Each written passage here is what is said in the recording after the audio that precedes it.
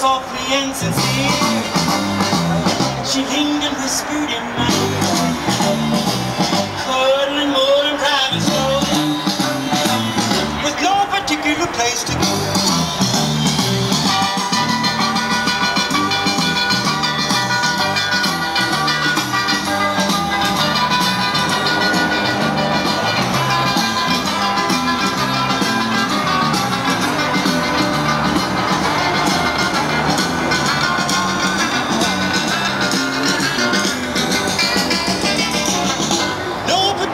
makes you